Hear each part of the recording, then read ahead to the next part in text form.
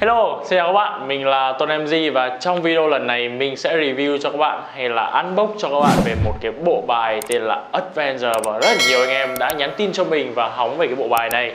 Và cho hãy cùng xem ở trong bộ bài này có những cái gì đặc biệt nhá. Và trước khi bắt đầu vào video review đương nhiên chúng ta sẽ có một cái đặc sản mà không thể nào thiếu được đó chính là ASMI đi rồi bắt đầu rồi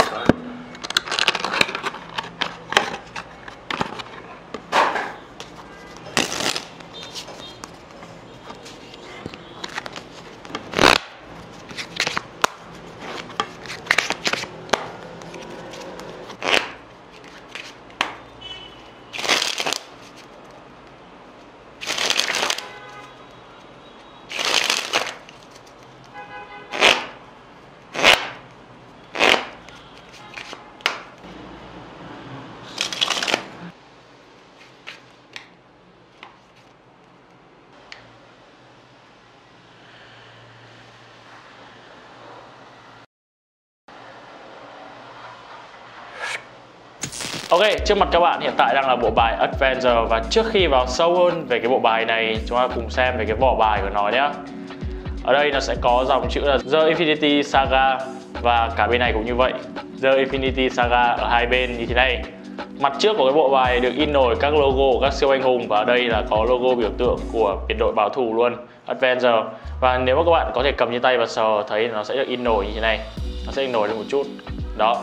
Ở đây chúng ta sẽ có Captain này, Thor này, Hulk này, Iron Man này, Hawkeye và cuối cùng là Black Widow.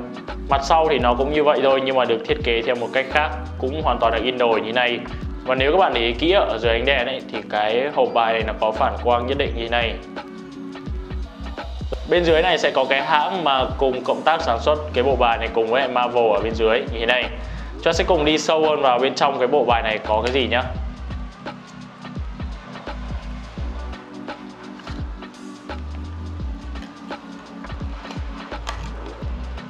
Ở bên trong cái hộp bài này chúng ta sẽ có hai lá bài đầu tiên. Đó chính là hai lá bài như kiểu là giới thiệu của chúng ta ấy, về cái hãng sản xuất bài. Chúng ta sẽ tạm thời bỏ qua hai lá bài này nhé.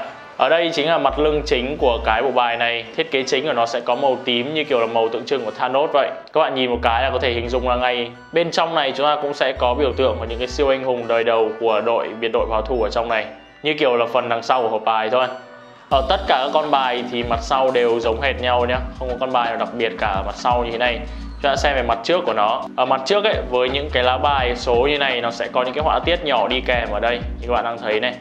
Tất cả những con mặt số đều có những cái họa tiết nhỏ đi kèm như thế này. Với những con bài có chất cơ, chúng ta sẽ được thiết kế ở đây là cái trái tim của Iron Man hay là biểu tượng của Iron Man luôn này. À nói qua một chút thì mình sẽ dành nhiều thời gian trong cái video này để nói về cái họa tiết ở trong những cái bộ bài này. Tại vì đây cũng chính là cái điểm nhấn lớn nhất trong cái bộ bài này. Còn về chất bài thì nó khá giống với những cái bộ bài tây như bình thường. Không có quá nhiều điểm đặc biệt để chúng ta có thể nói về nó ở đây chúng ta sẽ đến với lá bài Joker. Với lá bài Joker đầu tiên sẽ là biểu tượng của Loki với sự lừa lọc trong lá bài Joker khá hợp lý với nó. Tiếp đến, chúng ta sẽ có Thanos cùng với hai thanh kiếm. Tiếp theo, chúng ta sẽ có lá bài ất này. Ở đây với lá bài ất cơ này thì chúng ta sẽ có cái thanh kiếm mà Thanos hồi nhỏ tặng cho Gamora.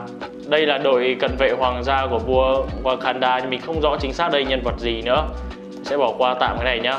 Tiếp tục đây chúng ta có Húc các bạn biết không? Khi mà mình nhìn thấy lá bài này Húc trông có vẻ rất là mạnh mẽ như này ấy, thì hãy nhớ đến cái cảnh hành động mà Húc bị nhét hành vào mồm. Thương vậy ở đây chúng ta sẽ có một nữ siêu anh hùng mà mình nghĩ bất kỳ anh em nào cũng đều thích nữ siêu anh hùng này. Captain Marvel mà đến tận cuối thì ờ, Marvel mới cho chúng ta biết được về nhân vật này. Tiếp theo chúng ta sẽ có Thor ở đây. Thor này nhìn hơi già thì phải. Wow đây rồi. Cái con mình mong đợi nhất. Mình rất là thích những cái lá bài ất bích ở trong một bộ bài thì thiết kế của lá bài ất bích này còn gì để chê không các bạn? Đẹp quá. Hình như đằng sau đây chính là cái biểu tượng khiên của Doctor Strange thì phải. Ôi, lá bài bên cái đẹp thật. Lá bài tiếp theo chúng ta có starlo mình có làm một cái video về hướng dẫn một cái trò thuật của anh này biểu diễn trên một cái show truyền hình rồi. Starlo Thánh Hải. Lá bài ớt rô ở đây có một cái họa tiết mà bản thân mình cũng không rõ nó là cái gì nữa. Nếu mà anh em biết biểu tượng cho cái gì ấy, thì có thể bình luận ý kiến bên dưới nhá. Tiếp tục thôi. Wakanda vị vua của chúng ta. Cái này thì không phải nói nhiều rồi tiếp đến sẽ là quả phụ đen. Ơi bạn ơi đây có phải là Wanda mà bán hành Thanos ở đoạn cuối đúng không? Kiểu nó dập lên dập xuống Thanos đấy. À, à có đây nữa. Đây là hình như đây không phải là Ant-Man đây là The Wasp đây là The Wasp đúng không? Với lá bài Atep này thì mình liên tưởng tới biểu tượng của chiến binh mùa đông. Khá là giống. Ở đây chúng ta đang có Hawkeye cầm cung như thế này với lá bài Zibix và nó có hai mặt cảm xúc của Hawkeye này. Đây là Hawkeye bình thường nhá và sau khi mà Hawkeye bị mất gia đình này. Ở đây còn có một chi tiết mà anh em không thể nào bỏ qua nữa. Đó chính là Ant-Man của chúng ta. Siêu bé. Ở đây, các nhà thiết kế đã làm rất là khéo léo khi mà cho Ant-Man đứng ở đây. Tại vì trong phim có một cảnh như này mà. Tiếp theo, ở đây chúng ta sẽ có Captain có hai khiên như này và đang cầm búa. Cái đoạn này là đã bán hành cho Thanos xong rồi này. Ngập hành luôn. Oh I love you 3000 cái lá bài ca cơ này ở trong rất là nhiều bộ bài, lá bài rất là lớn này thì chúng ta đã có nhân vật Iron Man ở đây đây là idol rất là nhiều người, mình tin là như vậy. Cuối cùng ở đây chúng ta có nhện nhỏ như thế này, thành spoil phim. Và đó là cái tổng quan ở trong cái bộ bài này. Mình đã cho anh em xem những cái lá bài mà đối bản thân mình mình thấy nó đặc biệt nhất và anh em nghĩ sao nếu em là fan ruột của vũ trụ Marvel thì anh em có muốn sở hữu cái bộ bài này với chỉ có ba bốn trăm nghìn không? Và mình nghĩ nó rất là đáng. Lúc đầu khi mà mình mới order bộ bài này về ấy, thì mình nghĩ giá nó phải lên tới tận vài triệu cơ nhưng mà không ngờ nó giá có thể ngọt được như vậy. Và mình nghĩ đấy là một cái giá khá là ổn khi order về Việt Nam. Thêm vào nữa như anh em ảo thuật hỏi là có thể dùng bộ bài này để diễn ảo thuật được không? Thì câu trả lời rồi, đương nhiên là có thể diễn được và thậm chí nếu mà anh em diễn bộ bài này với một người nào mà cũng cùng sở thích với anh em thì chắc chắn rồi. Mình nghĩ là khán giả này không cần phải xem ảo thuật đâu họ cũng sẽ phát cuồng lên vì sung sướng với cái thiết kế của bộ bài này đấy. Rồi và đó là tất cả về cái bộ bài này. Ok, đó là kết thúc video lần này rồi. Và anh em có bất kỳ ý kiến gì hay muốn mình làm về những cái bộ bài nào nữa so sánh bài hay làm bất kỳ những cái gì liên quan tới ảo thuật thì nhớ bình luận ý kiến ở dưới phần à, bình luận của video này nhé còn bây giờ thì uh, xin chào và hẹn gặp lại. Mình là Tuấn MG